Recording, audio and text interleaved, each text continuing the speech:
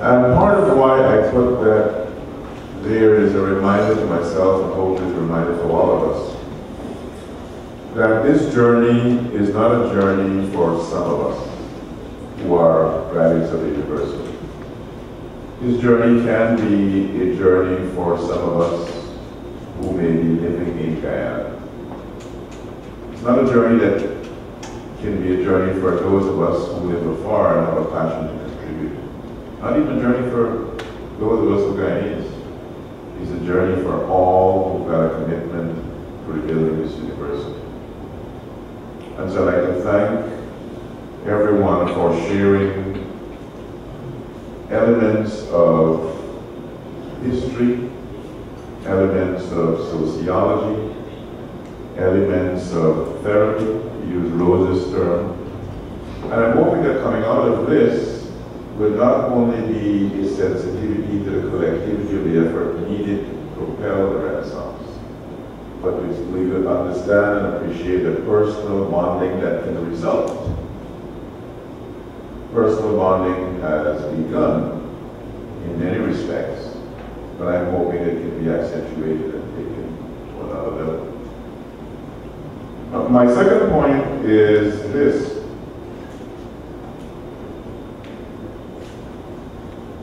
I made a point towards the end of our first conference at Marriott last year that I'd like the group to come back and to have an opportunity to reflect and prospect. And so once we resume from the break, one regular minute Okay, he's I'm going to ask the Deputy Vice Chancellors who are here, the words are, to help us understand some of what we've been able to do since that first year. And then we're going to have a chance to hear, well, not only what we've been able to do, because I've asked them to say a little bit about looking forward. And looking forward is with a view to having the ambassadors appreciate ways in which they can help in looking forward to the actual action. We're not looking only for money. And yes, the Vice Chancellor's fund does need replenishment. so if you feel compelled to leave $100, leave it. We're also looking for ways to have the talent and the relationship network activate, actualize the suit. And so I want to thank you for, in the case of some who've been here, and in the case of some whom will be joining that journey in a more significant way, like Wayne, thank you for paying forward. Before we take the biology break, this is the second item, I want to bring formally into our fold a couple of colleagues like Lyndon. And so we've got their instrument. I'm going to ask Lyndon to take the one for Albert back to Texas. So if I can get the photographers and maybe I can get Allison to help officiate.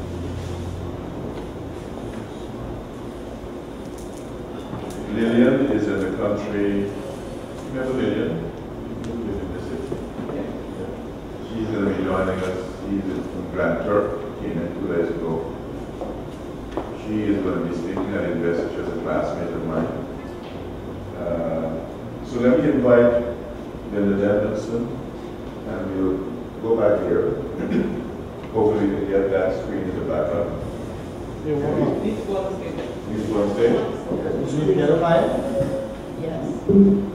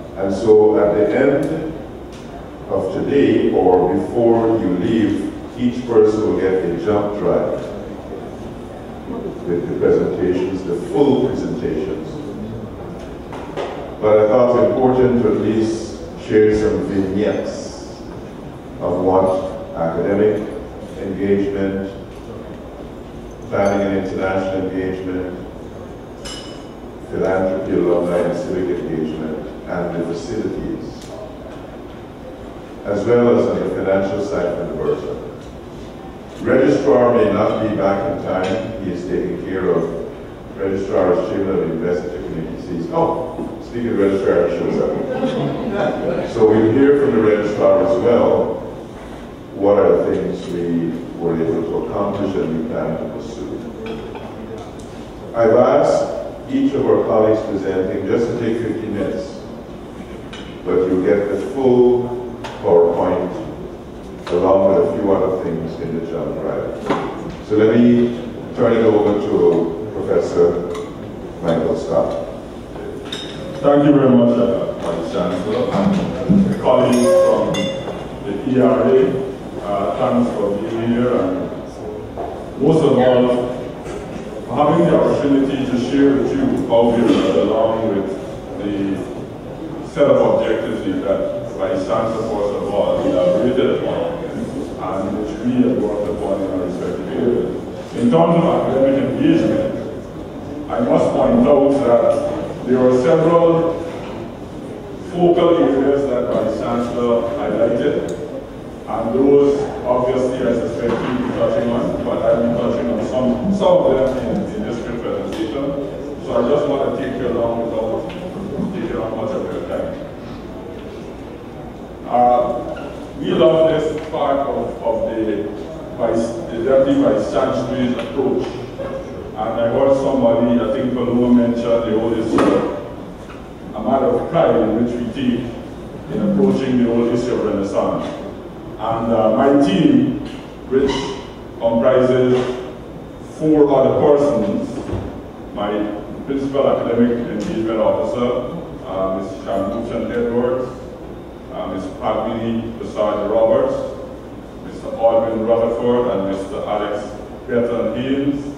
Those are the persons in the team, along with my PA, Ms. Sandra France.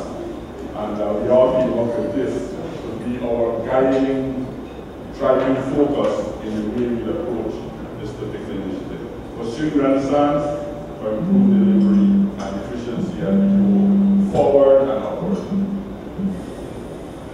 Major achievements. I mean, capture them in three quick, areas.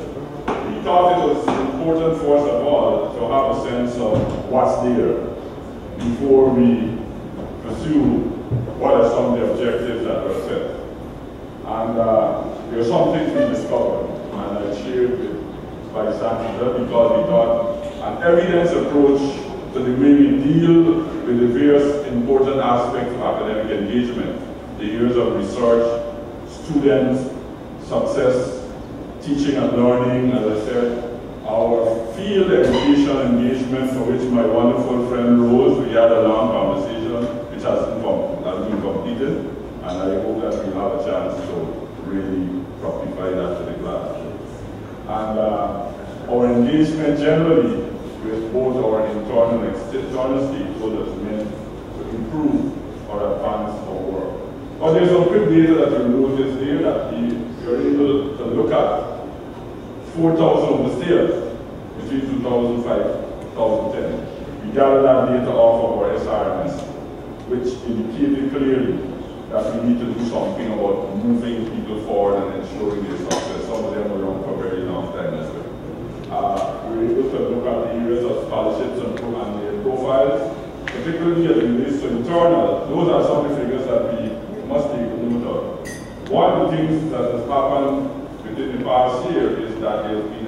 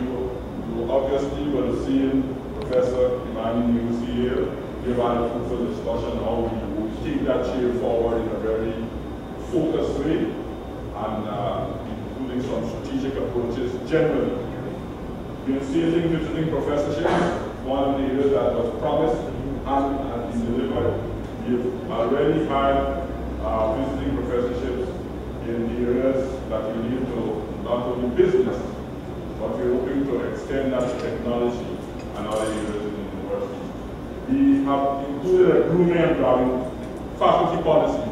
Grooming at end through our young and promising academics who are coming through the various faculties so that we can build their interest in the teaching as well as drawing the best. Okay? Obviously, you are in that pool for the. So that's why we bring the grabbing involved.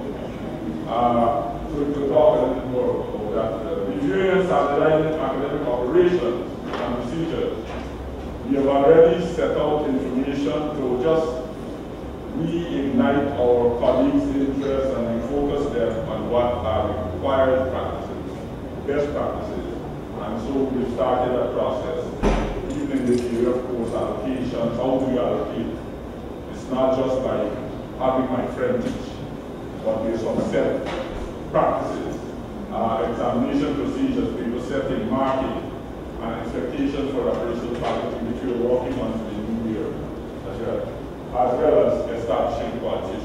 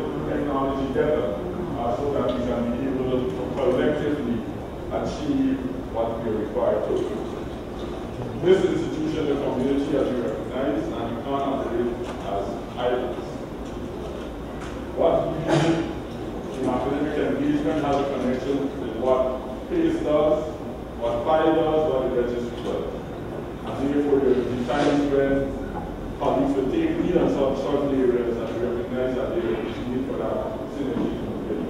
Responsiveness requests and important academic requirements. Right?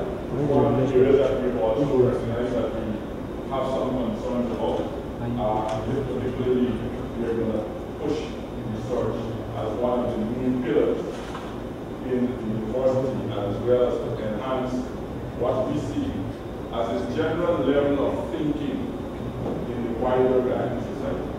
One of the things my team has been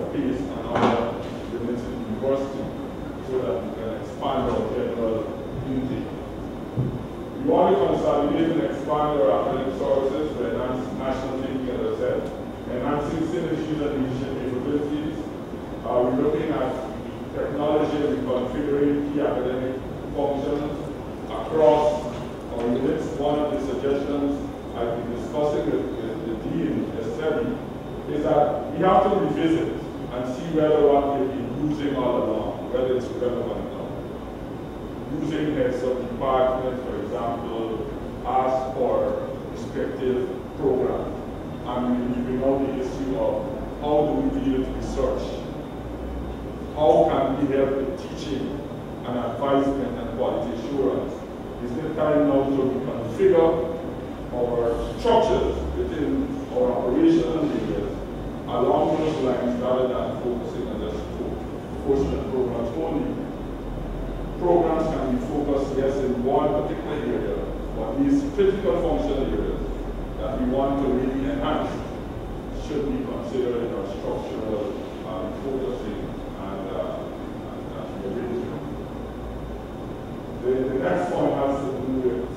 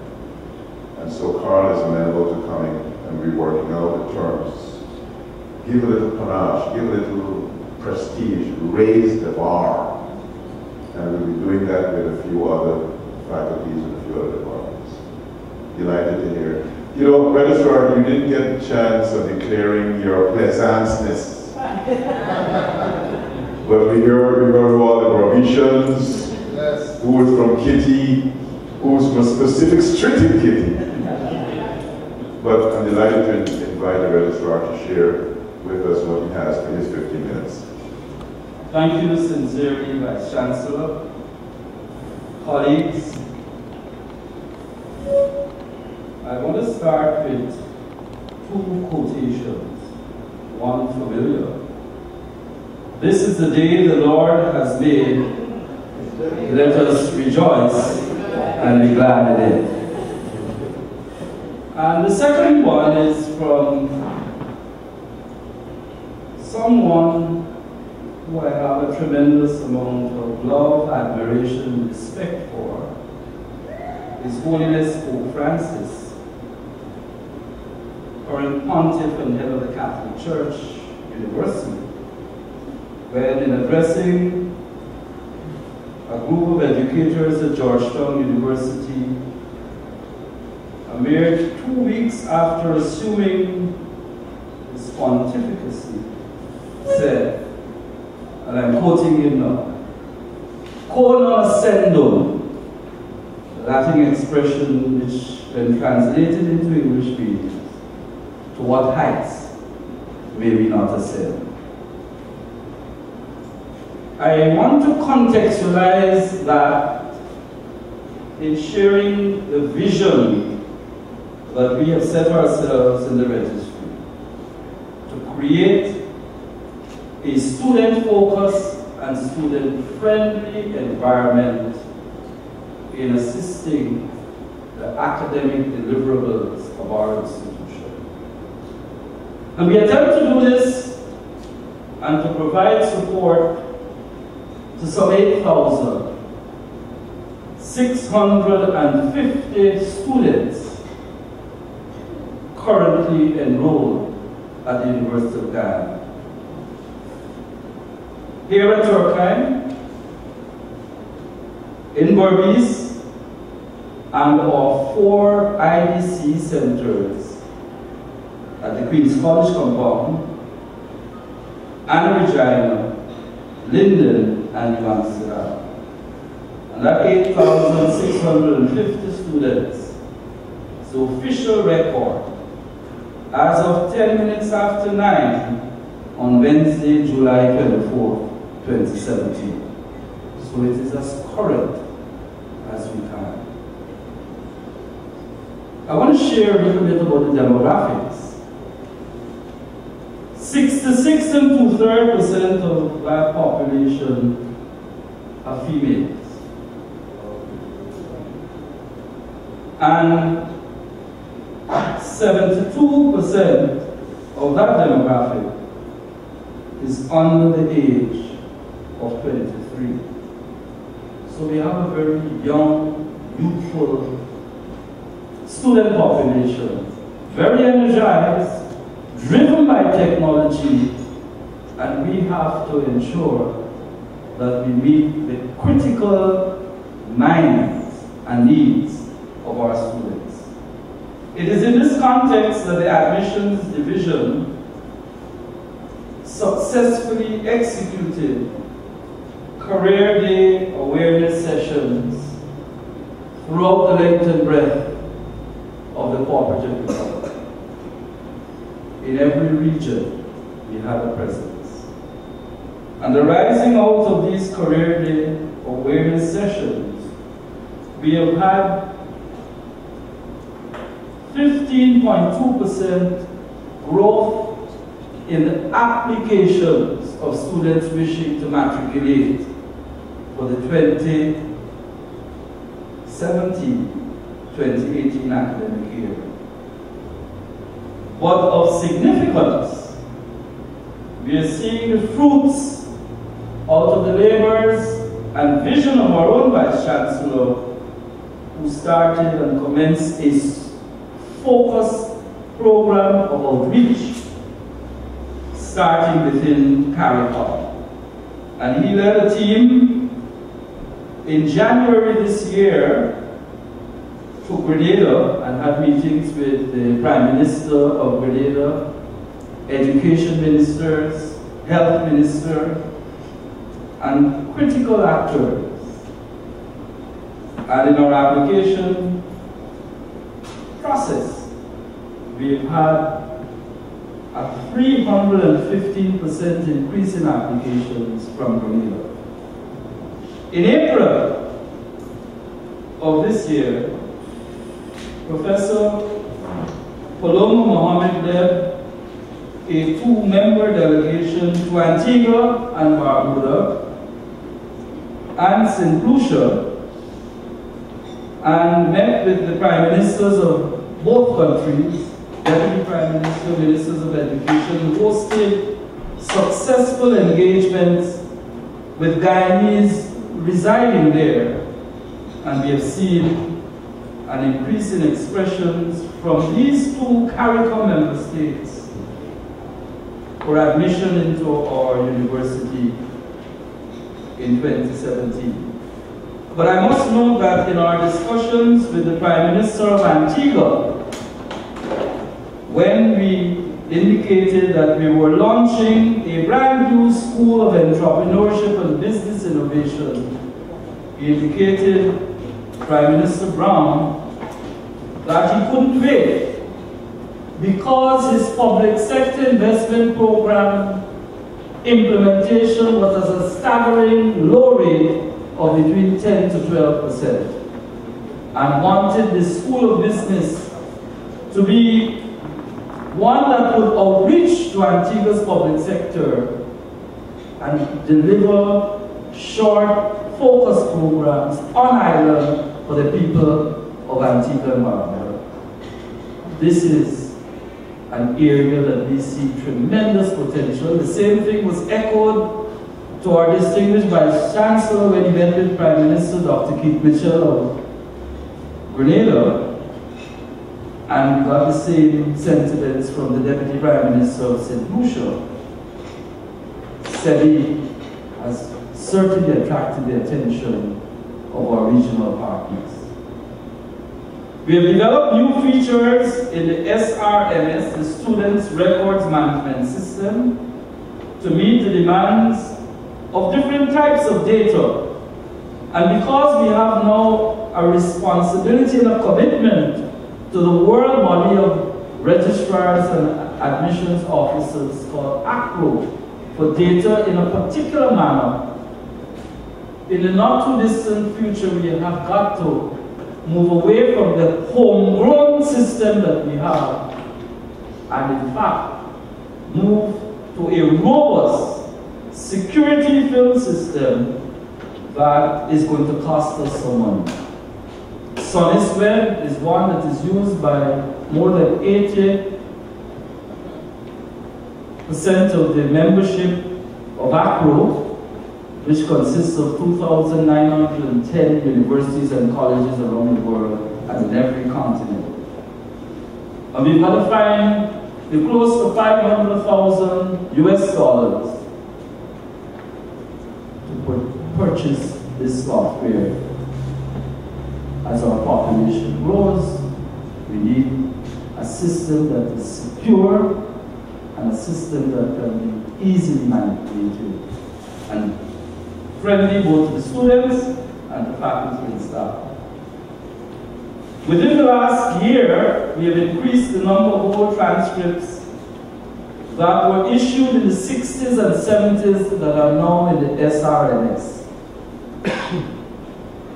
and for the first time in the last year, we have secured the services of a guidance and counseling officer on this campus.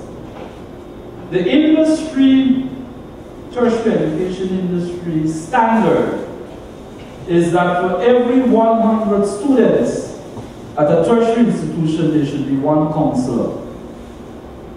We have a capacity gap not only at UG, but it exists nationally and regionally.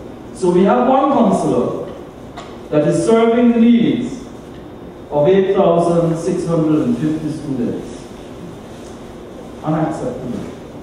And that is why she is being forced to use a network of counselors by, from the ministries of education and health.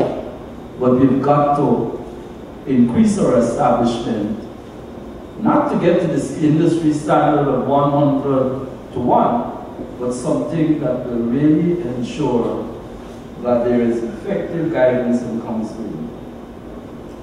The long anticipated internet service at the Dennis Irvine Hall of Residence was in fact done and this is a dorm that accommodates 25 mostly regional students and this has been monumentally of importance to them. It helps with connectivity with their family, friends, and relatives in the CARICOM they came. The interfaculty athletics was successfully hosted at Leonora Synthetic Track, away from the campus, and it is my understanding, I'm told, that it was the largest in years of participation. Professor Scott and myself among the senior members of the administration stayed for the entire duration of this. And we had, for the first time, the inaugural small goal football competition. And uh, sports will have to feature as an integral part of our deliverables as we seek to promote a holistic type of training and development as more and more students have been expressing an interest in active sporting competitions. And with the Vice Chancellor's leadership and support, we were able to have executed both Uberis, no, sorry, here, for a kind, we've been doing this in Berbice for the new academic year, an inaugural etiquette training in which 50 of our club members benefited and they have attested to the significant improvement and need for this in a wider context. And I'll be engaging the Deputy Vice Chancellor for academic engagement to see how we can fashion a structured program to treat with this. We do have challenges.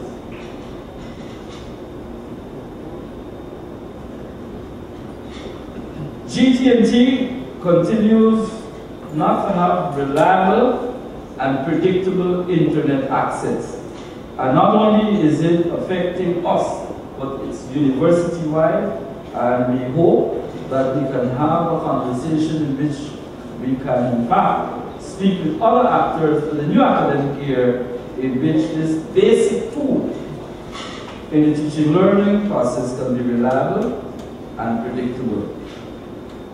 Electrical shortages and outages and poor backup systems clearly is a concern to the registry because the most important and sacrosanct element that we have to deal with a student's record. And there is no scope for error in that. And we've had some difficulties with power outages and losing significant data and having to manually input again. The slow acquisition of furniture and stuff, basic things like and toner.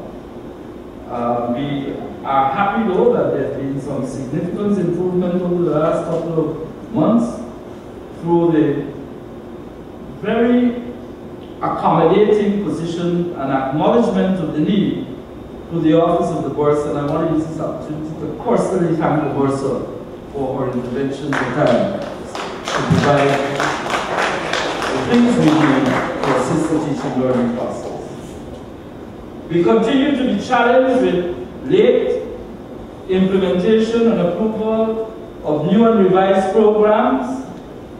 At the registrar's office, this is important, but at times we have to depend on the faculty, and I'm working with Professor Scott, who has provided and his team excellent service and support in accelerating this very important element of our deliverables.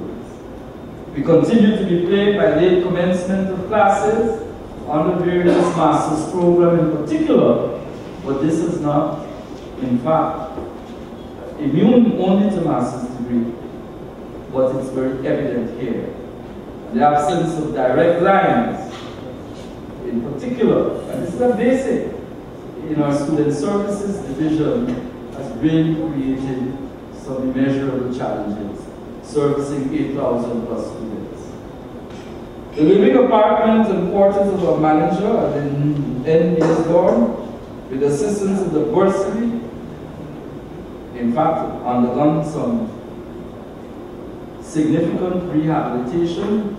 There are few minor things, but we want our dorm manager to live as though he was living at his home because he spends most of his daylight and nighttime here, and we have to the resources in order to be comfortable.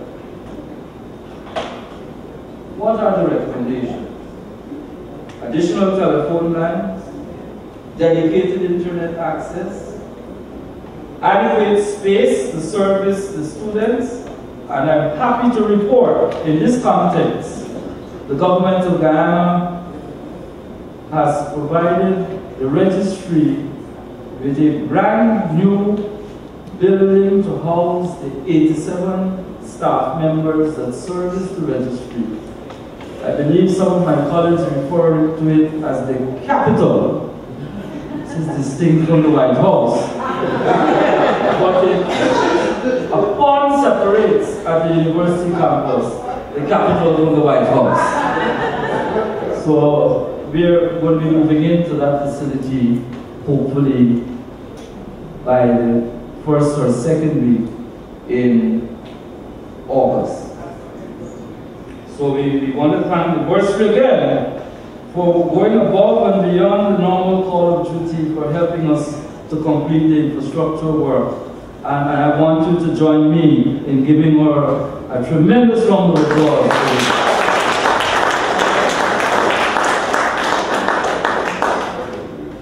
We have presented a comprehensive budget for 2018 fiscal year, and our expectation is that we will see some significant enhanced student services. I wanted to touch on three other areas of tremendous focus that the university's registry has been. The first is in the governance reform of the university. A number of studies have been done, but it took this new chancellor and this new vice chancellor to take some of the studies that were on shelves for years off the shelf and we're accelerated. Eight meetings of the Governance Reform Committee headed by former Vice Chancellor, Professor Carrington and his team. But we couldn't do this without the support of the Office of Planning and International Development Engagement, uh, supported and created an environment to get the resources for us to um, proceed with this and we are on target for its completion. You may not know, but of our student population, Approximately 1,050 students require housing. We have two dorms that can accommodate just under 75. So what has happened in the last 15 years is that residents and citizens around this area, Turkeyen, Cummings Lodge Industry, have benefited substantially from the presence of the university and have made available housing, bottom houses sometimes not very conducive. But the university now has to focus its attention on greater student accommodation, both from our regional outreach and more and more students are coming from places like Mabaruma, Morawhanna, Matthews Ridge, Rupununi, and we have to find accommodation for them. And in this context, student housing becomes tremendously important and critical. And right now, the university is locked into negotiations with a conglomerate out of Trinidad and Tobago to put down, as a start, a 100 facility complex for student housing. I have personally seen how student housing has transformed St. George's University in Grenada. In fact, today, 70% of their revenue is not derived from tuition, but from housing. And that is a long-term vision that the university must have if we are to satisfy the needs of our growing student population, both within the cooperative republic and our original, you may not know this, the University of Guyana has a very diversified student population with students from 34 different countries, including Fiji, the Solomon Islands, Australia, um, four countries in Africa, CARICOM well represented. When I was a student at UG, I remember um, having just one Number one foreign student, Carlos, uh, Professor Melisi, where he was from? Turks and Caicos. We have 34, a very diversified student population. And a major deficit over the years was in the development of policies that are transparent and predictable in the academic environment. And the registry has been taking the lead in the development with Vice Chancellor, Deputy Vice Chancellor Scott's office, and we are about 80% completed in a robust and comprehensive new examinations policy that has been very informed by participation of all the faculties at school level. And we hope to present this to the academic board for its consideration and adoption in time for the new academic year and detailed Provost policy. And finally, I want to say, it is as a result of your intervention, your support, that I can proudly state today that for the first time in the 54-year history of this university, we are in a position from the support group out of Maryland in scanning our primary source documents, which commenced in June of 2017, of all of our academic records from 1963 to 2006 and we have started that process of scanning and digitizing our records. And I want to thank you for the vision of ensuring this is done. And as I thank you in anticipation for your continued support to the most dynamic department in the University of Guyana, and I say so with a phenomenal abundance of sincerity but modesty as well. Too often, our registry assistants complain that their computers are not working. We are in need of 15 computers, laptop computers, as we start this academic year. Allow me to thank you in anticipation for your generous contribution and donation so that we will start 2017-2018 academic year with brand new hardware. I thank you and God bless you. Registrar, stay, stay at the podium for a minute. I want to make three quick observations and then see if there are any questions or comments. Very brief. We're only going to spend five minutes on it. First, our registrar referred to the housing challenge and we had a clear manifestation of some of those challenges with the fire coming flood. The owner of that property had no insurance. No insurance. So no one, not a student or other resident of that building was able to get any kind of compensation. We provided to our students and staff $100,000. I may have missed the reference by the registrar to one of our singularly greatest challenges that I'm intending for us to overcome. That is the late submission of grades by our faculty. My first day on the job here last year, June 14th, the registrar presented me with a report of thousands of grades since June 2016 that were due in semester two. I've been walking around with a report he has been providing me.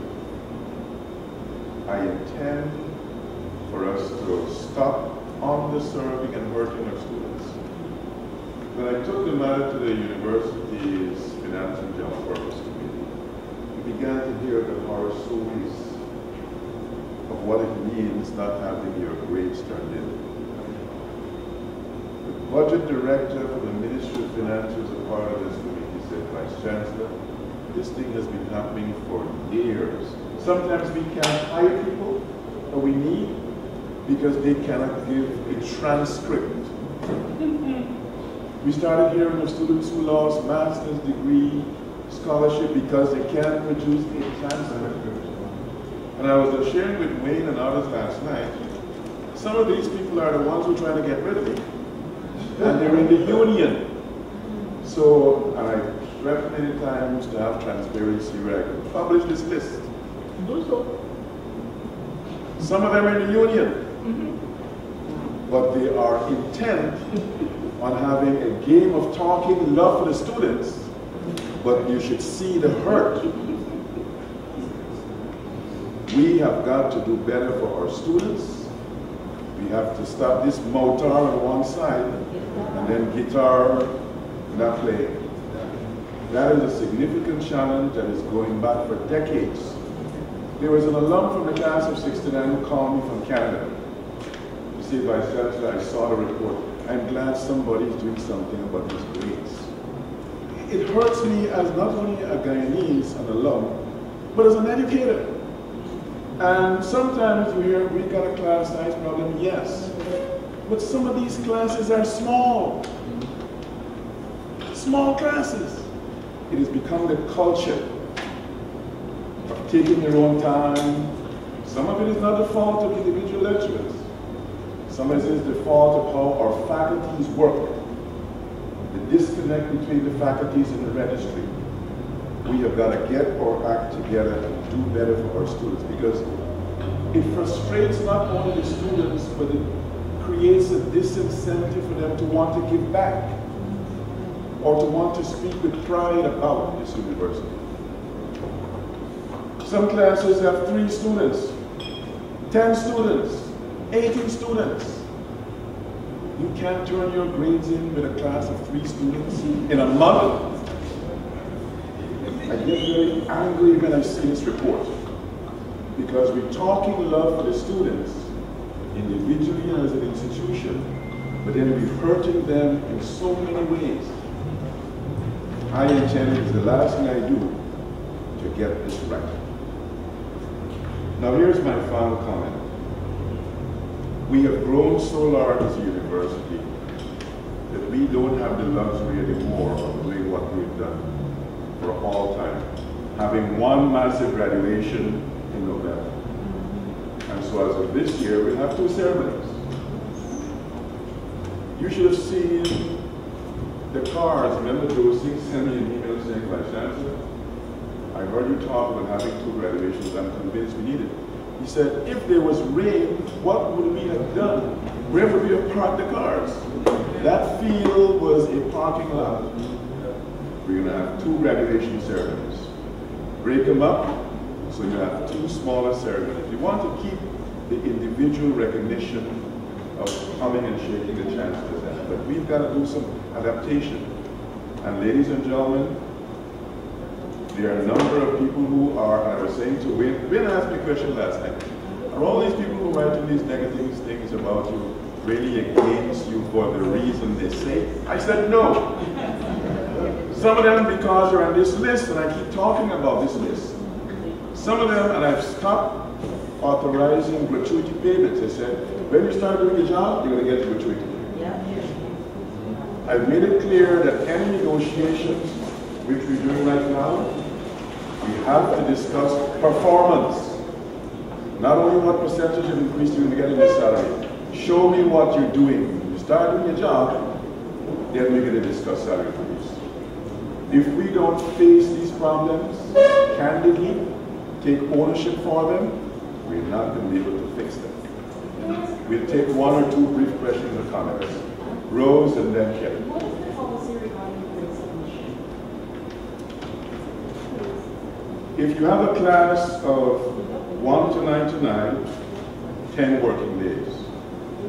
If you have a class of 100 to 250, you've got 15 working days. If your class is between 251 and 499, 20 working days. If you have a class of over 500, which is a very small group, you have one month. Some people have three, six students, and they cannot get their grades in, in six weeks. I just have a quick comment, uh, to follow. I asked that because I wondered, um, what was the, if there is any penalty for relation. There are going to be penalties as of now. And the other thing that I wanted to say out loud as an educator myself, I find it very unethical, one, and cheapening the education that the students get because it's not giving the students a good message about the education that they receive or teachers, instructors, lecturers submitting their grades. And the deans who are here know that I have no compunction about being tough on this. The deans are part of this, they've got to do their jobs better. The heads have got to do their jobs better. And we as a university have to ask, what is it that the registry is not doing well enough? This is not a time to be pointing blame elsewhere. The There's got to be individual and institutional ownership. We'll take one more question or comment from Kelly, and then we move on to Governor. League, right? Um, I would like to propose that uh, you develop, right, uh, something for potential real estate investors to come and look at the possibility of joint partnership, private, uh, public partnership with you guys in terms of the housing. Okay? Uh, you know that uh, that has been feasible at St. George's. You know that now a major contribution to the uh, financial state of the university, I think you can make an argument to potential real estate investors that this is a good investment.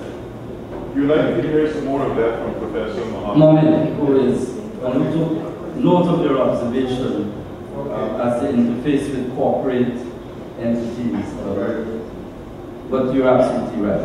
Okay. Thank you. Let's start the registrar.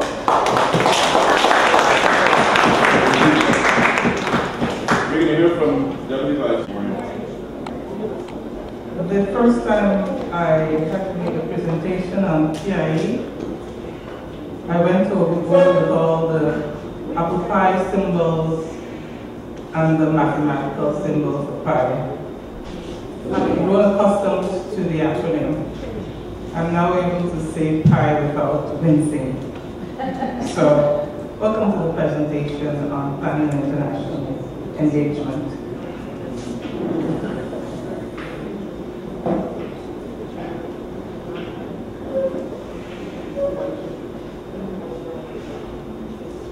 We have a set of guiding principles to which I return time just to make sure that we're in tune with ourselves.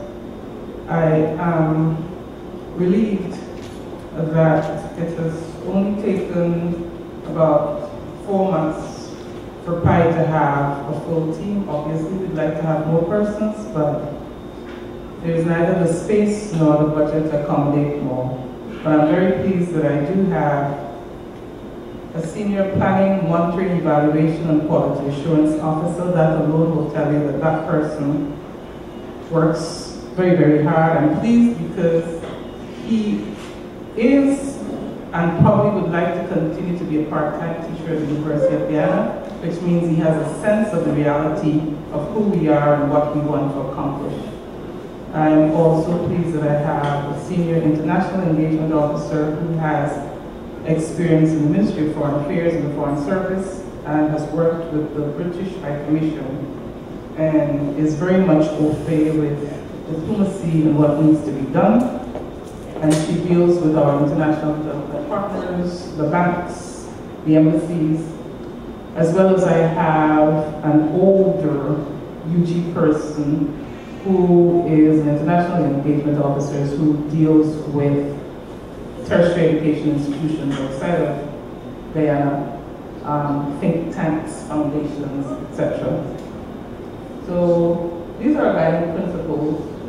Um, I just want to touch on the first because I think it's critical that we accept that there are many ways of doing things and here at the University of Guyana we'd like to do some new things. We'd like to do some old things in more efficient and effective ways. And there's some old traditions, things that have stood the test of time that we'd like to hold on to and enhance and ground. And so those are guiding principles. Uh, because of my background, I'm always committed to equity, economy, efficiency, effectiveness, and ethics. And so I brought a little bit of my previous background with me in this regard. The first half of this species called planning and international engagement is actually a nexus of planning, monitoring, evaluation, and quality assurance. And we've taken as our tagline, building back better, so that everything that we do should be done to stand the test of time moving forward, recognizing that maybe in the past there's some things that were amiss, so that as we build back, or as we build, it should be done better. The desired outcomes are fit for purpose, planning, monitoring, and evaluation, quality assurance, function across university units and systems. And I want to emphasize the word systems so that we get the sense that they're interlocking parts of the University of Guyana. Second was pretty important to me, the culture of PMEQ across the university. Because um, having the systems without the culture means that the systems don't always function. So how do we build that culture? And of course, build the capacity for PMEQ across the university is very important. The Vice Chancellor asked us to talk a little bit about our achievements. Um, one of the things that we sought to do was to develop standards for new and rehabilitated buildings in First Guyana so that there's a certain look and feel, but more importantly that there's some minimum standards, like paying attention to persons with disabilities, making sure that they're energy efficient, making sure that the architecture is so weird, not so weird, wacky, and wonderful that there's a dissonance, but that we, we progress and that we're progressive in how it looks. But there are other things um, that we need here at the university, and one of them is modularity. We cannot afford to have fixed functions, and so we have to be able to share space over time and for different groups, and so modularity is a very key principle, and there's some others. The second is we've been drafting some minimum requirements for food services one of the things that has always bothered me at the university again is that I don't buy from some places where I don't see running water. So if our food services don't have access to running water, in my mind they're a public health challenge. So developing those minimum standards for food services is absolutely critical and food services right now the University of Guyana are underserved. If you wanted a hamburger or a cup of tea right now, there is absolutely no place to go except we truck them in over here. And that includes things like executive dining as well as being able to buy a donut for the equivalent of a US dollar. A draft land use plan, believe it or not, university is virtually out of space. Now I know that a lot of persons see a lot of green patches and think we have a lot of land. We really don't. We have undeveloped land and so uh, a coherent land use plan with appropriate zoning is critical for us to move forward. Um, university is already hosting IST in the forensics lab, and so there is a precedent for us to host government institutions, and right now we're in discussion with three government agencies to host uh, an institute for the Creative Arts, the Bureau of Standards, and the Food and Drug Agency, um, just somewhere behind that. Um, an agreement with Movie Town, um, the implementation of that agreement vis-a-vis -vis how we move forward with uh, energy efficiency and the mobile money, um, which is currently under negotiation. The next one is something to which I've been contributing for a while and which requires a lot of back and forth across the university. Um, terms of reference for revised HR policies and procedures.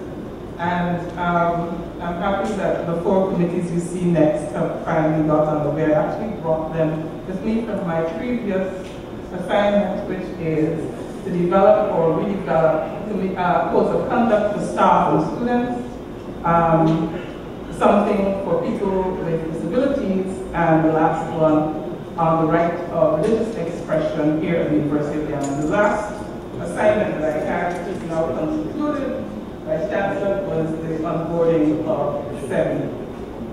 So Some enablers and challenges for planning. We have a clear mandate and vision. We have an engaged team, and there's a lot of goodwill for the University of Guyana. On the challenges, PIU is now becoming known across campus, and so people will come up and say, what do you do? Or they will say you do nothing. Either case, it means the same thing. Um, I talked about the culture, and we don't have counterpart personnel in the bursary and HR for planning, and I put there in inadequate transportation because I'm one of those persons who doesn't like to circle downtown for planning, for parking, but I go downtown. Major plans for 2017-2018 will be development of the strategic plan. Um, there's one in place, kind of, but kind of outdated. Enhanced plant. Um, energy, big challenge. Sewage, even bigger challenge at the University of Guyana. IT, not so big challenge. And my favorite one, an integrated management information system so that the SRMS speaks to the HRMS it speaks to what's happening in finance, etc., etc. To institu institutionalize the planning function and implement the hosting agreements, minimum standards. I want to talk a little bit about ECD. On March, International Women's Day, a group of women who were here singing and dancing, we had a serious conversation. I asked them, what would you like the Vice Chancellor to do before March um, 8, 2018? And overwhelmingly, the first thing that came to mind was they needed a place where children and babies can be hosted on campus while mothers work here. There were a lot of other things, you know, the gym and all that stuff, but the ECD Center is one that I've shared with Vice Chancellor. He's embraced it. And we have some pending matters on workload policy and HR policies. I put the last one on the table mostly because I am an EPR person, and I found the University of Guyana, we don't have any emergency preparedness and response.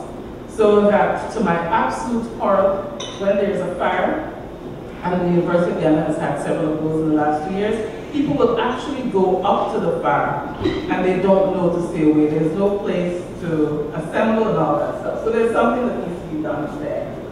On international engagement, we've taken as our tagline, bringing the world to UG and taking UG to the world. And these are outcomes, advancing the international agenda in line with strategic priorities and commemorating and celebrating major international milestones, just to remind us that we're part of the region and the world. Well, we managed 30, 73 MOUs, 34 of which are active, some need to be buried with a nice funeral, and some can be reanimated. We've also managed over the last few months working across the university to establish agreements with the London South Bank University.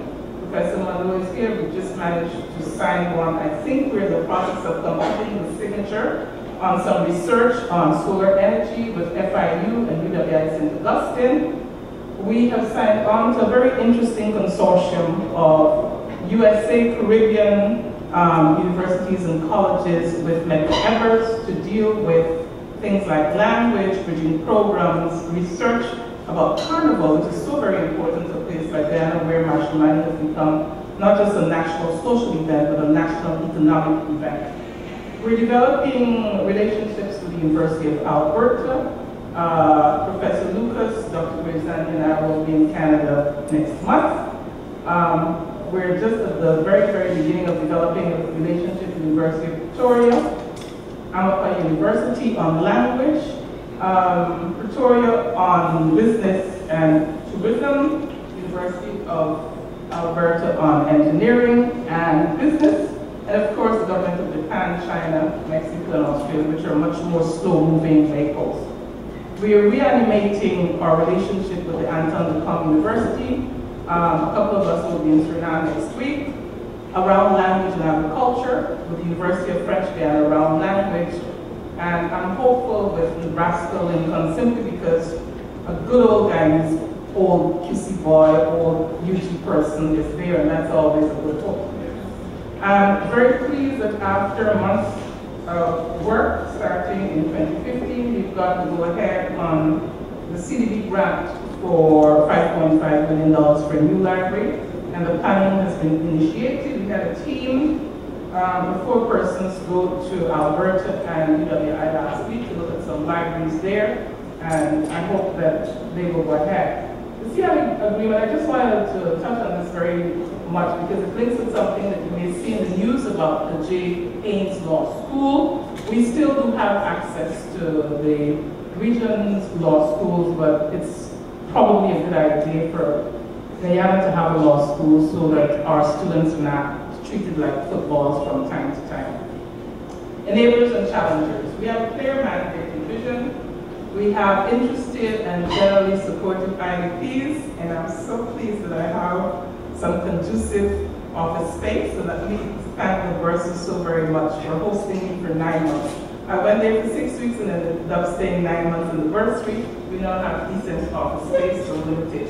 Some challengers, challenges, limited internal absorptive capacity and responsiveness. I think Vice Chancellor sometimes refers to it as molasses. Very ad hoc, piecemeal approaches to partners. Sometimes we go to partner for an official meeting and they say, well, we just spoke, uh, spoke to such and such a person.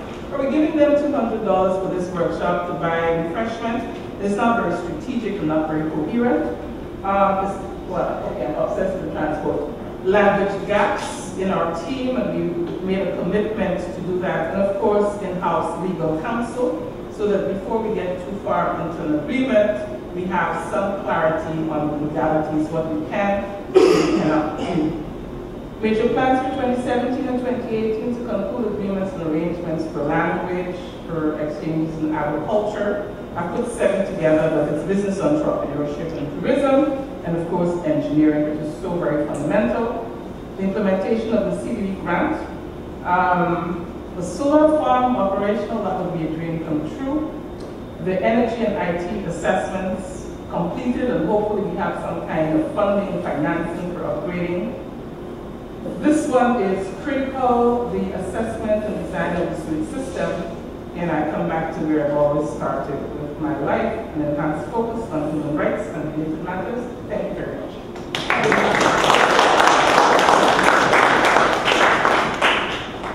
Let me ask you that we do the following. Quickly get the On this occasion, I don't know, Dr. Thomas, if there's any other things you can ask, but I would prefer you come up with me too. We are representing the Georgia, the state of Georgia, metro Atlanta area. Um, we all have a copy of this, this white sheet, which outlines the role of ERAs that was given to us, or mandated by the DC to us last June.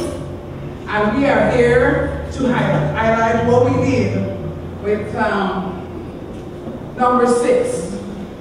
Look at the sixth item or requirement of ERA. And I'm just up here because we're running So let you know what we did. We took the mandate extremely serious as we are here to support and make a difference in the goal and vision of the Vice Chancellor. So, let me just say what we did, we have been following the New York people closely because it looks like they have high energy. Now the people in Georgia, people in the south, north, anyhow. So what we did, we when the, we were um, invited to be here for this conference, we had we held a meeting, and at that meeting a few of us were, were there, and we decided that we will do the dollar for Georgia, which was which was uh, one of Dr. Um, Paul Ryan's idea, suggestion, and it was working as I saw it in last September when I attended the function in New York. So I'm just going to highlight quickly what we bring to the, what first we bringing from Georgia. Uh, for the, at the first Guyana Association of Georgia meeting, we, we shared our idea, myself and Dr. Thomas, and we were able to do the dollar for Eugene, and we're going to be doing it at every meeting of the Guyana Association of Georgia. We meet every third Sunday in the Guyana Association building, 1970 Paloma Road. So if you're in Georgia, you come your dollar. So the first meeting, we made $50. And in October of last year, and we had the pleasure of having Dr. Mohamed with us. Dr. Conrad Wilson, one of the ERs, he is here. I thought he would have been here, but he's not. But he and myself, Sandra, Dr. Thomas, Austin Thompson, most of the ERs that were here, we were able to do a fundraiser, and at that fundraiser, we were able to raise 6,000 US dollars. Okay?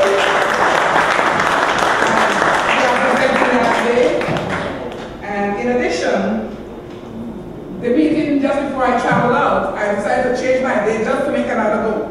And I did make that goal, use my little morning tactics.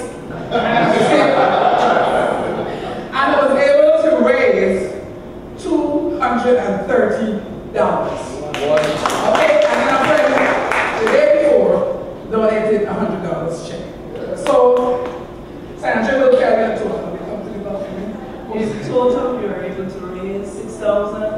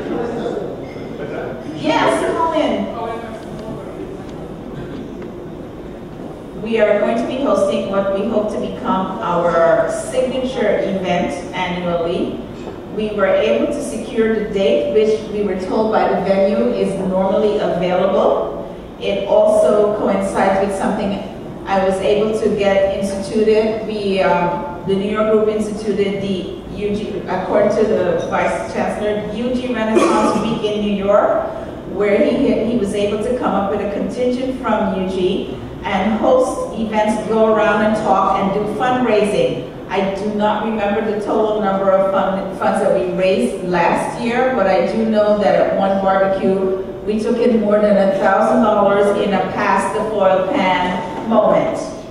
Uh, we've, we've been able to continue doing fundraising. We will do more. We have today, I know that Paul is making an additional donation. Rose has made a commitment of $250. Colin, we always can count on. He makes donations even without the group being aware of them. The, uh, Desmond and Leslie Stewart have made other donations with regard to um, computers and things like that. I hope that if you are in New York, you will be able to attend this. We will also be having a silent auction at this event to further raise um, funds for this. This is one of the aspects that I know the Vice Chancellor likes my collaborative community access because a number of the items we will be having for the um, auction are going to be donated through contacts that I have. So we are not necessarily, these are people that I go to, they will be helping us without knowing exactly what they're doing, but because I ask and they know I always do, I always get something. So we're gonna continue doing that. Um, Sure, sure, we can ask anyone. Uh, You want to, introduce Rose can add something, um, what else do I need to add to this? Um, we are, we have a Facebook page, everyone will be able to see the Facebook page, it has been made public. We are working towards designing, um, a website. We are using Facebook, eBlast, and Eventbrite in order to advertise our, our events. We have 300 tickets printed. We have 300 tickets printed, and so far, ticket sales are going very well. We, I, before I came, we got the tickets like a week before I came, and by the time I was coming, I had already sold a table and a half of tickets. So please support us if you're in New York. Come to the event, and we are also working on the the, the New York Renaissance Week again, because we've been doing that in conjunction with the Guyana Cultural Association, which Rose and I are members of. They provide us a table, we were able to, to, to provide literature and paraphernalia for UG to be on sale. So you can bring those polo shirts and everything. We will have more people coming out to do what we have to do. One of the things we, we are faced with in New York, to host an event like this, to have the music, the DJ, and photography, they're now required to have a million dollars insurance because of liability costs. And we are going to be getting the DJ provided by the gentleman of Gaida. Uh, They're going to be helping us with the DJ. And because And we have a resident photographer. Because he is a member, we are able to divert from the insurance fee because he will be taking the photographs as a member of the group and not as an independent photographer where we would have had to pay a million dollar insurance for him to do the photos. So you see why my husband is now part. You see, he doesn't say anything, you know. um, He knows what's good for him. But there's some more work that has been done by, the- by Dan Paul and his access to the Richmond Hill community in Queens. Rose is gonna say something, then Paul is gonna add a little bit more. Michael and I have to leave to go do our give back, so we wanted to make sure that this was done today. But I don't have the check for you. The potential we have for this event is to raise at least twenty thousand US dollars.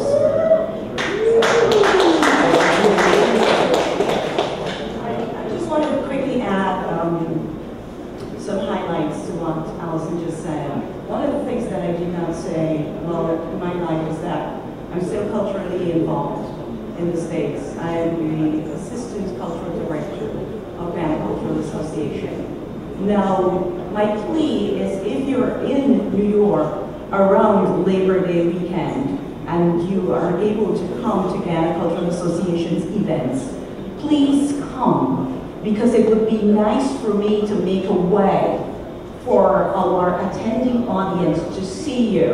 And the reason I say that is that around that time, I am seen as culture, and I think it would blur the vision of UG and what UG is about. So I urge you, if you're able to come to New York around that time, it's Labor Day weekend, and you come, come look for me so that we can get together and make a plug for UG and maybe ask for that dollar in our environment to make a difference. I mean, I'm asking you to help me. They don't take me seriously if I'm not talking culture when it's a cultural event. And I'm serious about that. So I just wanted to make that plug. Thanks. I announce that um, my company, Orion Consulting Inc., will be giving to you the thousand dollars. You can get it in American Express if you want to take it tomorrow. The only reason why I don't have a check, I forgot to I forgot to take checks when I left my felt not sending that. You got thousand Thank you. This is going to be brief. Uh, let me begin with Confucius, who said that every step leads to the mountain, every step leads to the University of Guyana. I just refine uh, Confucius. Uh, let me talk about Citron for uh, Imani, who wants uh, Eastern philosophy. He said you must walk a million miles for China. So the Vice Chancellor will walk a million miles to the University of Guyana. Um, now we started the dollar for UG um, was idea that we had, and I'm so glad Marlon took it up for Georgia and raised so much money. We did raise some for uh, New York, from the New York branch, and we had a rabbi in the park and these various events which we presented the Vice Chancellor. Um, we did lots of publicity, the West Indian, newspaper for which I write on a weekly basis.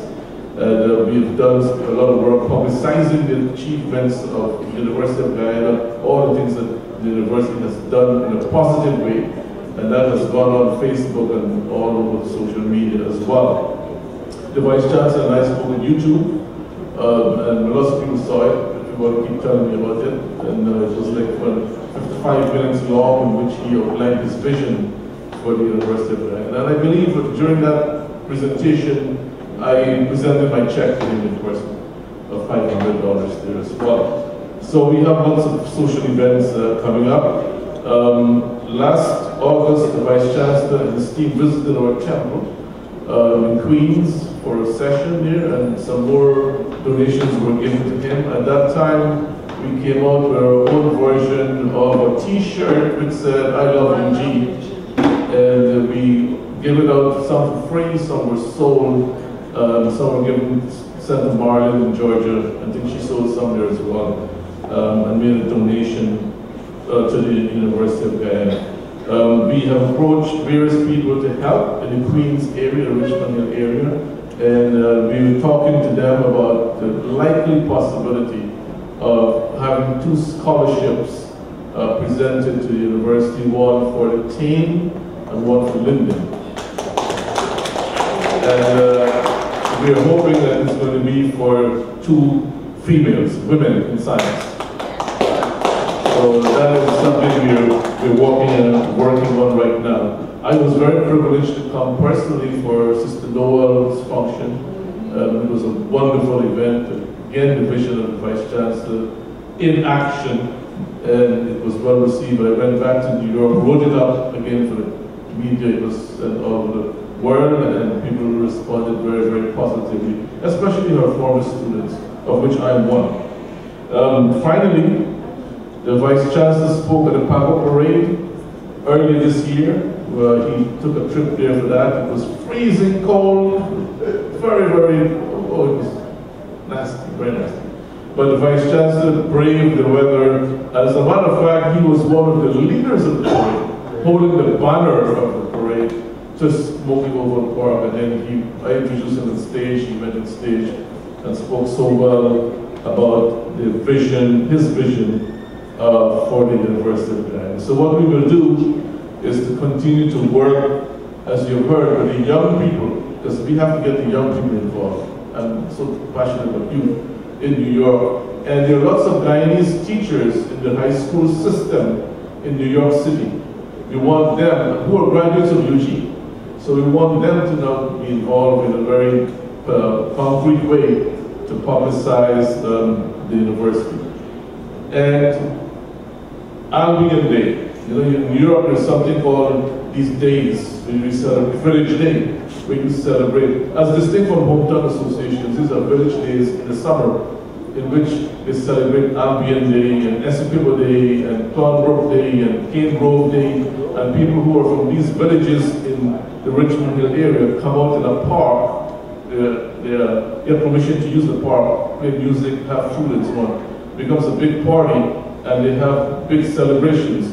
Now, Albion Day is coming up on August the 12th, and thousands of people are expected to be in that park. The, organizers of the Albion Day owe me a favor.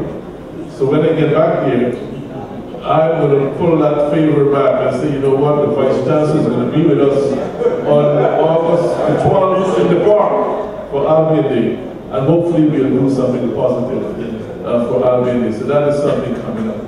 And before I end, uh, let me make my personal donation here to the Vice Chancellor. I know he likes to see the scholar for Eugene. So here's a hundred dollars. Just uh, one more thing that um, we plan on doing, which which is going to be which is going to be to add a donate button to our Facebook page and the, the website when we have it running. Um, because we feel if you're going to come and see what we're doing, you can as well click that button and donate something. We are we do have a bank account established. We will be able to take funds. Uh, alumni and friends of UG, anything we make uh, will be tax deductible for you. And Dan Paul is also going to be running community events announcing what the group is doing and will be available for you to see in the West Indian. So let's take a group picture then we'll hear from the best one. Hey everyone, hello again. I am going to be trying to be very brief because I know we are like pushing up against time. I part of the planning that's taking on taking off in pace is synergizing consonant with the Vice Chancellor's vision that he set out actually while he was actually interviewing for his job in this very room uh, while he was giving his public presentation. He said that there is, uh, he was going to work on floor plans. One was capital investment, other one alumni athletic enhancement, um, economic, I have to go close.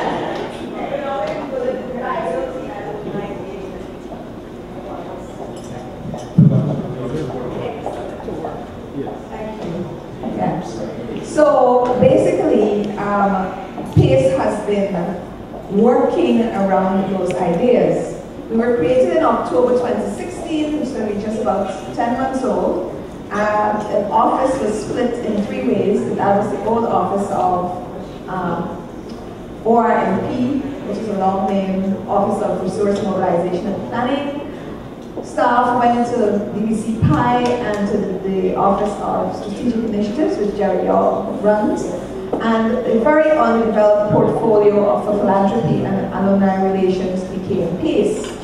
Um, then, of course, we had the civic engagement part of it. So PACE really is about responding positively and progressively to particular resource relationship, rebranding, and re-engagement imperatives of the university in the context of Renaissance at this moment. Our core values are creative visioning, proactive caring, and transparent accountability. The last one is very, very important to us as we begin to mobilize the systems and funds in Guyana around the world for UG. Okay.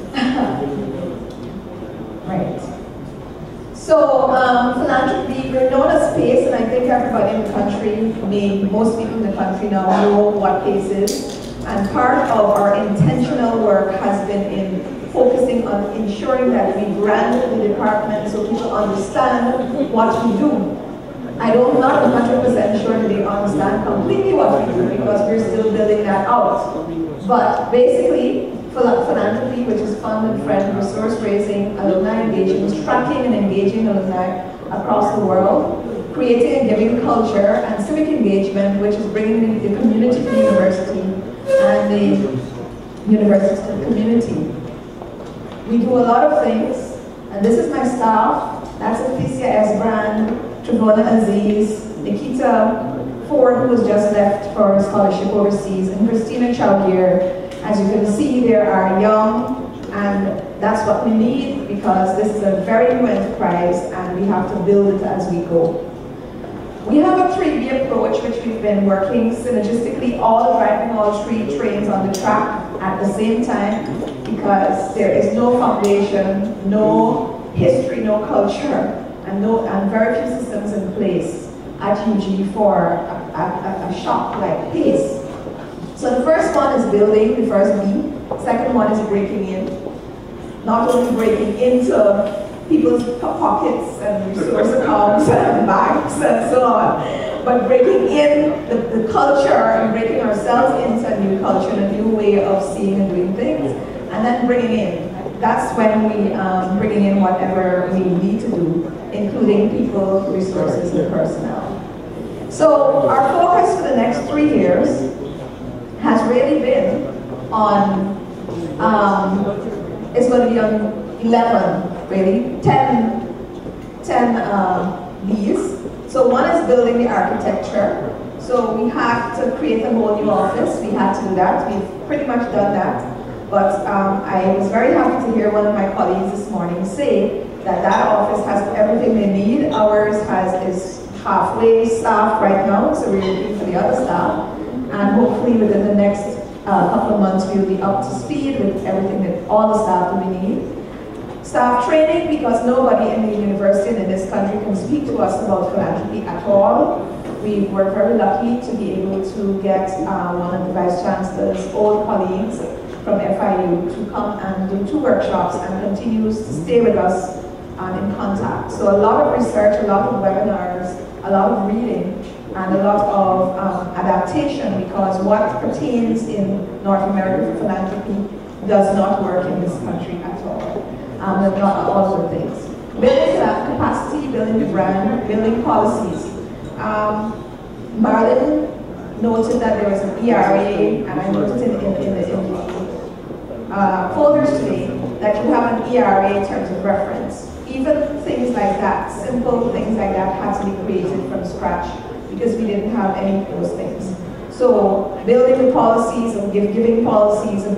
Somebody just wrote me and said, could I send some books to UG? Well, people, UG was a famous dumping ground for people's libraries that they, you know, they didn't have a place to put the library, they want to get rid of it. They would send books here, and some of the books we couldn't use. So we needed to develop a policy and a system of how to how to have that giving be, be intentional, systematic, and relevant to what we do. So we did some of that as well.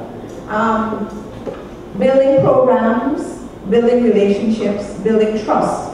This, I'm going to speak to this later on as part of one of the key challenges that we have in the context of everything that's happening in the press um, that's not positive about UG and, especially internal, what I would call uh, poisoning of the pond that makes it really difficult for us to move forward, but we, we're doing that. Um, building bridges, there's a history of distrust and so on in the country, in the university, and alumni, among, uh, amongst alumni, and uh, really and truly, that is something that is a challenge to us.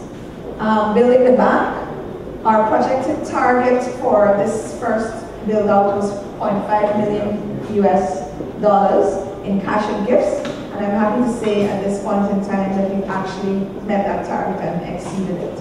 Um, and I'll tell you how. yes, because I think, I think that's an achievement. And for those people, you know, when this office was built out, a lot of people would have said, you know, why are you spending money building out an office like this? How um, is that, is it, is it the best um, investment? And the Vice Chancellor would have said, yes, he's building on a Hamilton report, that said we should do this, and that this is a, a way to raise money. And there are a lot of skepticism around the place.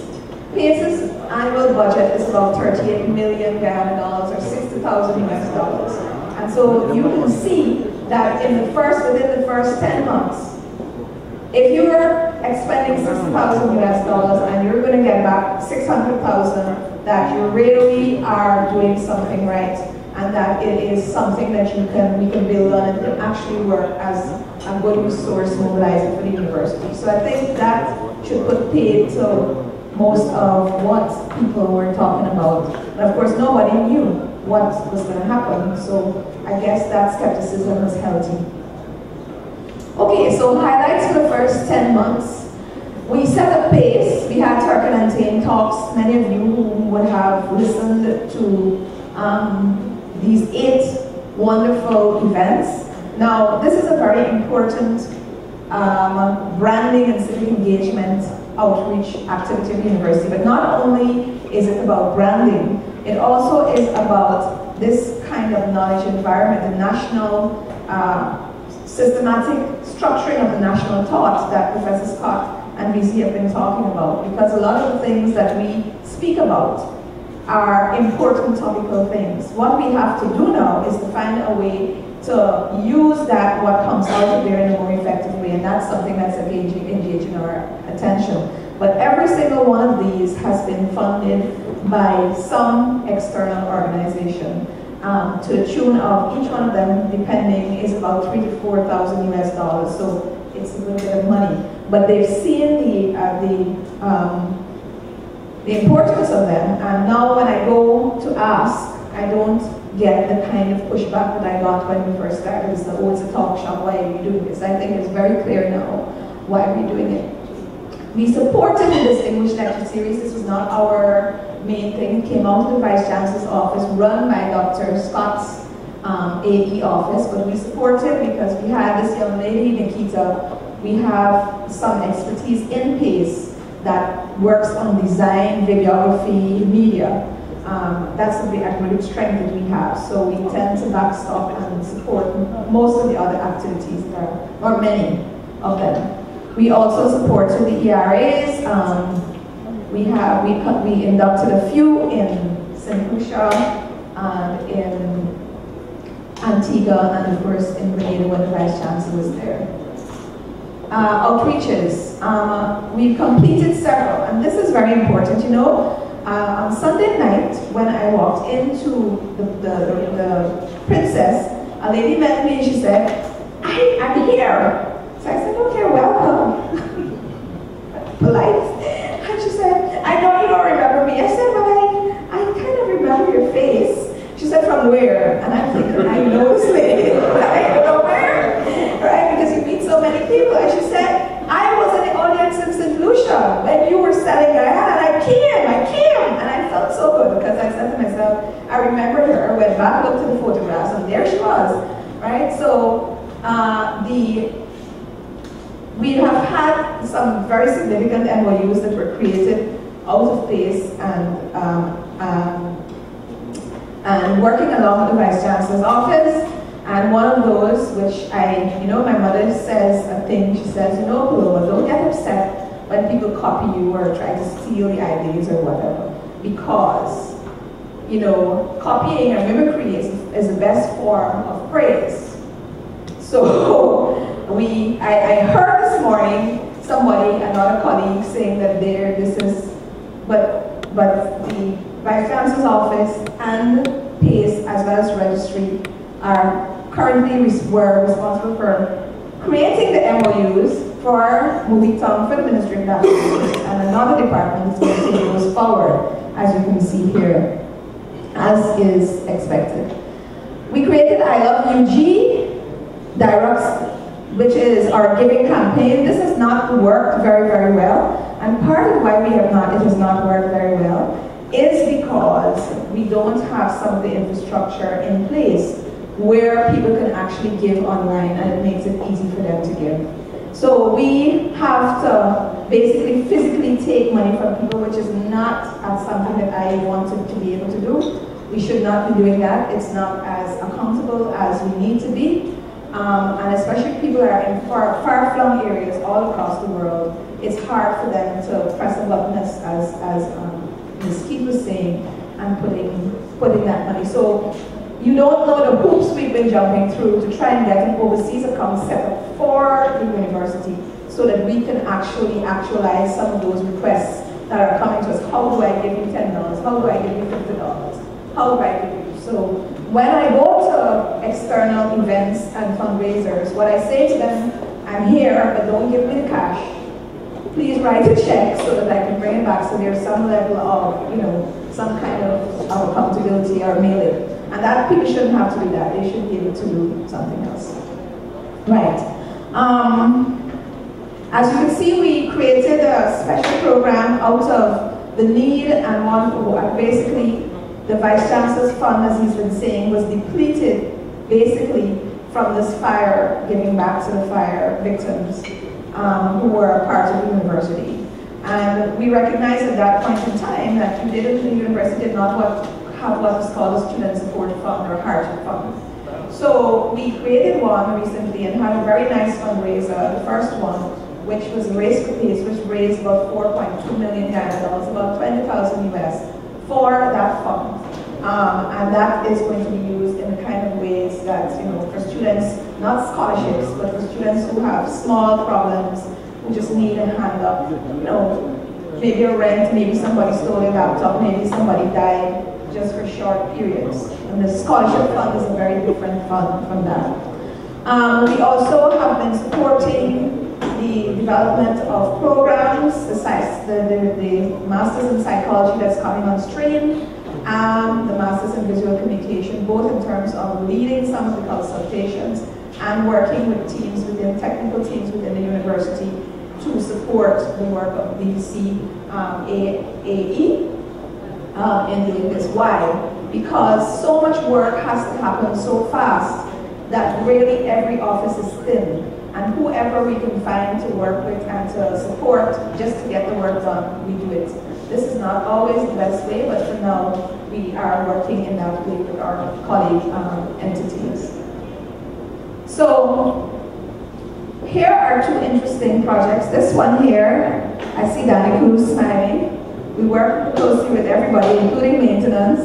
Um, the top one is Pier Street, um, former residence of the Vice Chancellor that became later on um, the, uh, the, the office of the Pro Chancellor of the University that fell into this repair. This, this is the design um, of the building which we hope to see ready in 2018 by maybe mid-year. It's just been approved and it is going to be what we call UG Inn. It is going to be an eight-room uh, inn as well as a two-room conference facility which hopefully will start raising some money from the university. This is coming to us, the central government gave us a small uh, amount of money, I think $38 million to give the university, not piece um, to refurbish but we hope to see this being generator. Um, so next year when you guys come, you'll have to fight to get a booking in, in there to, um, to, to live in. But this is, this is cool. This one at the bottom is one of, one of our notional projects that we worked on, and I'm hoping against hope that we could actually, we could actualize that. The one with the three buildings in the bottom is what would be known if we we're able to get this grant from the Mexicans as the Yucatan Center for Informatics on campus.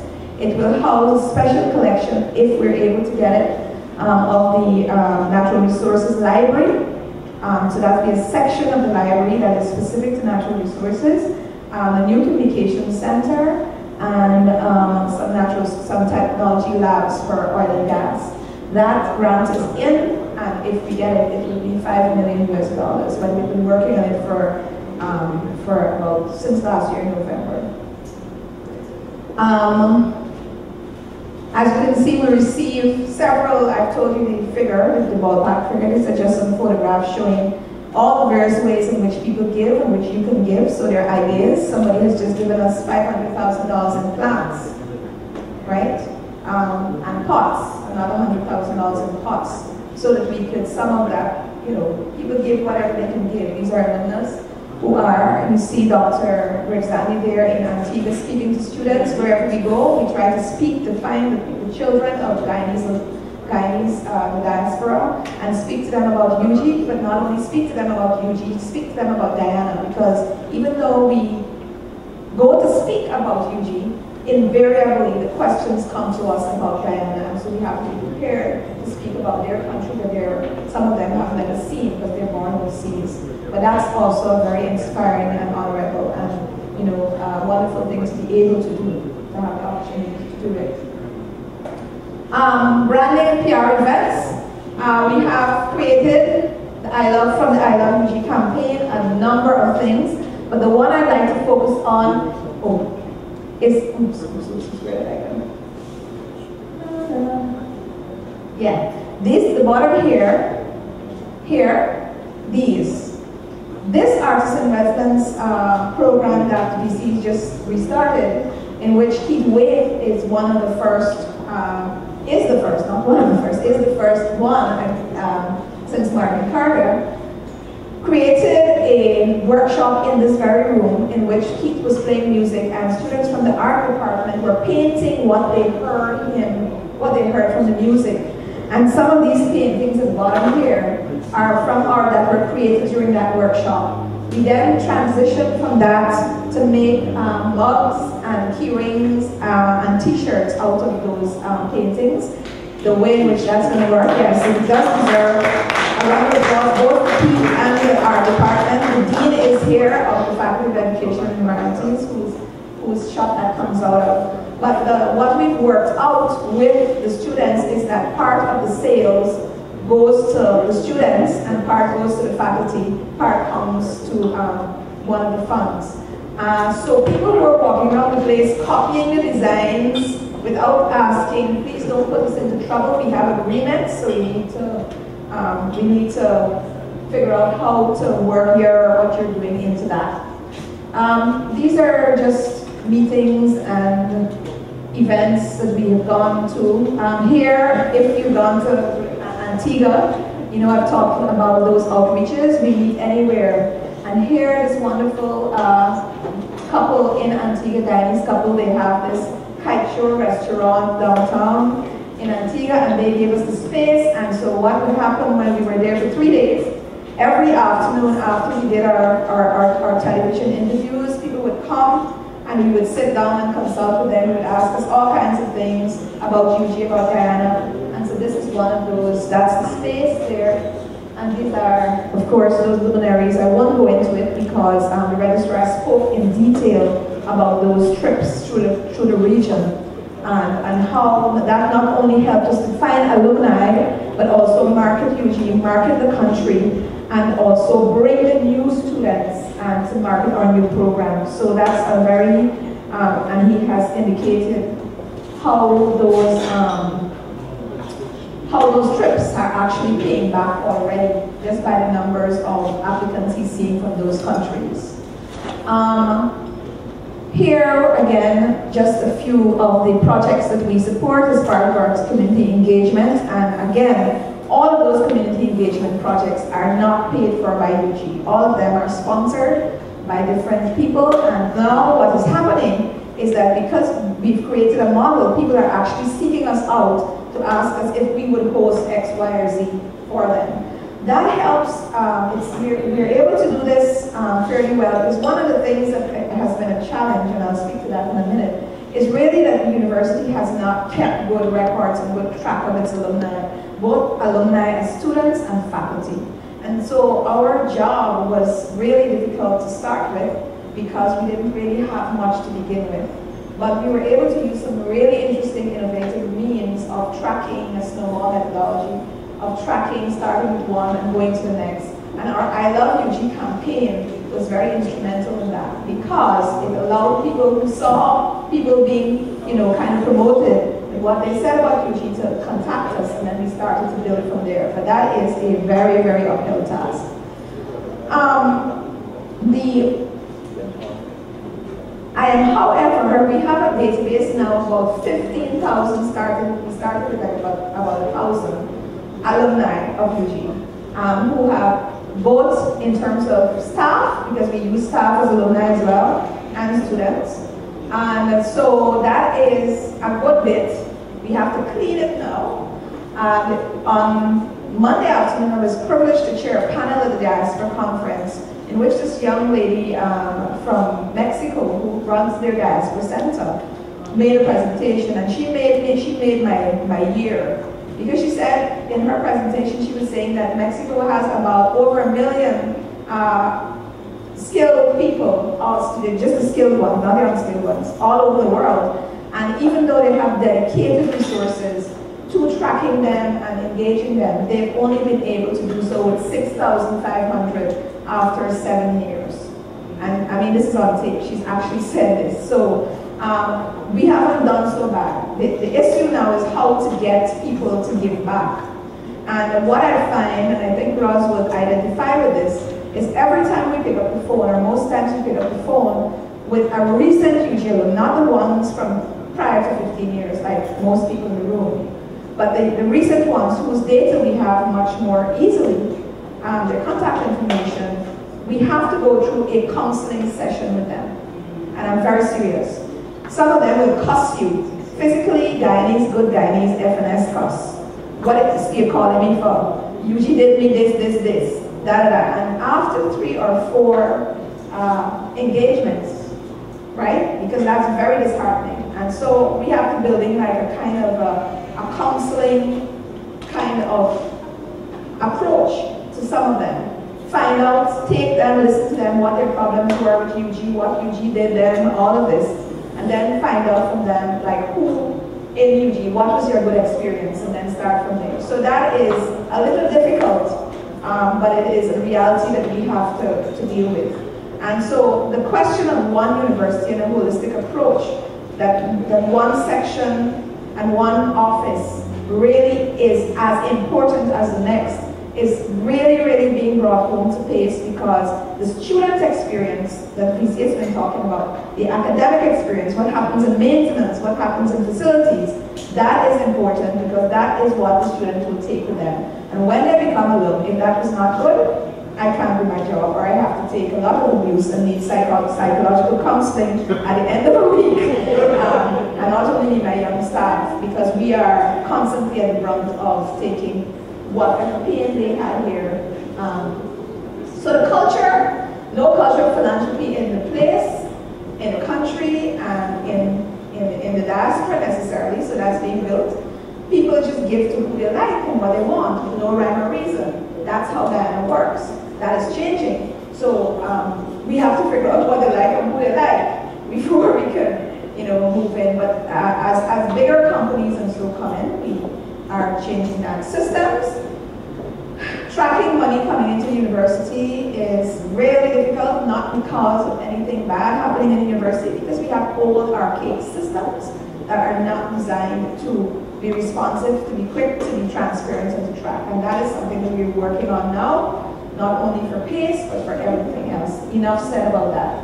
A history, no history dilemma, well, that is, we have a history that people know, a perception of the university, and but still we have no data, no records that we can actually go to. So people have a perception, we know somewhere out there there is history and there's stuff, but we can't really access. We're rebuilding that now. So that's really definitions. This is a big thing. And because a lot of these offices have just come on to, I think, uh, Dr. Professor Scott related to it. A lot of these offices have just come on to, come, have just emerged. We have to work out what we call the people portfolios and synergies. There is a lot of overlap. You may have heard them, uh, some of them this morning, and I would sit and wonder, like, how is it that this person is doing, this office is doing this or that? There's a lot of overlap. We have to sit down and work those out. And a lot of that is because a lot of this is emerging now, and so those clarities have to take place.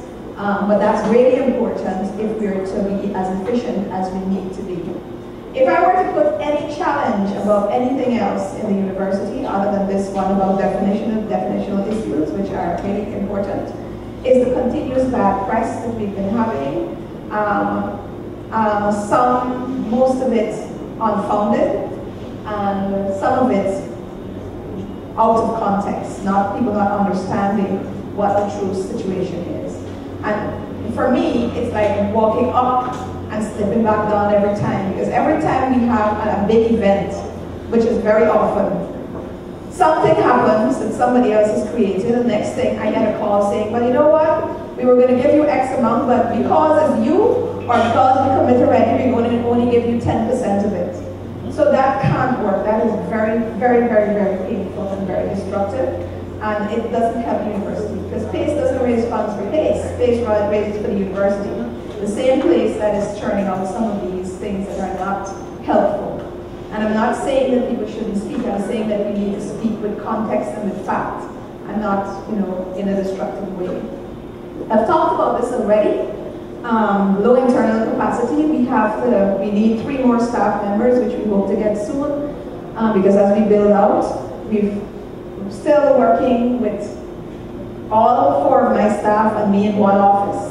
That is not going to work out, although I do have a nice office now. I've gotten the old Vice Chancellor's office, but it's still I still need space for my staff, resources, and we have a steep learning curve because there's so much to learn um, in a short space of time. So we're actually doing work, learning, and fighting fires at the same time. You can imagine what that's like, but it's probably not as bad for me as it is for VC because I only have a small part, he has the whole thing to do with. Um, so in conclusion, I just want to say that PACE really is working to support a one UG vision. And when we say one UG, we're not speaking about UG um, just only Turkeyen, we're speaking about Tain, we're talking about our four centers around the world, and our diaspora. There's a UG diaspora that we are um, working to bring in, to embrace, and to ensure gets back.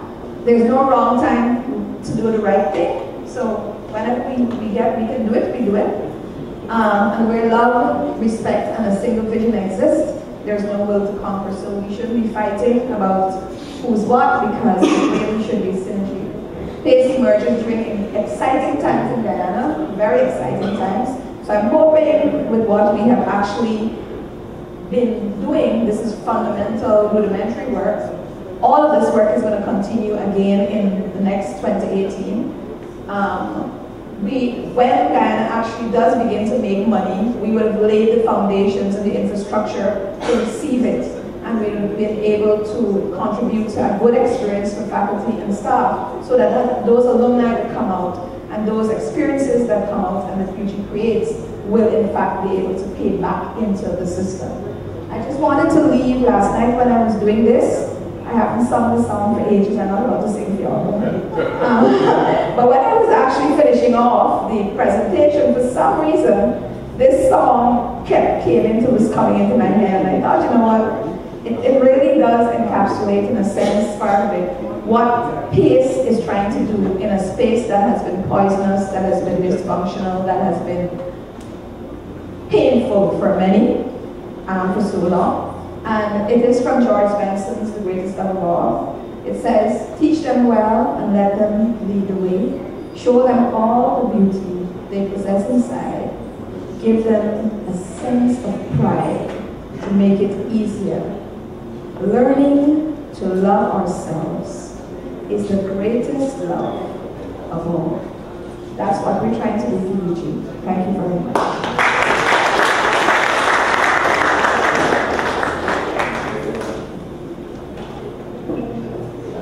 Let me recommend, thank you, Professor Mohamed, the following. That we get expeditiously in the bus because we push Minister Harmon back by half an hour and that time in, that time arrives in 20 minutes. We'll find after lunch an hour to hear from Mr. Kudu. We'll take one of those breakout rooms and the ERAs and anyone else who wants to come can join us here on the facilities and then have any questions or comments.